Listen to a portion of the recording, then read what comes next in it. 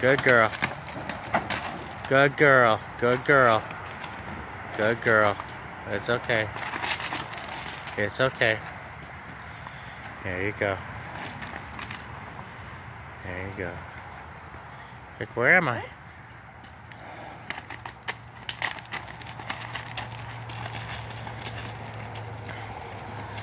Yeah, if we didn't have to deal with the license, she probably would have done stuff like this a few times by now.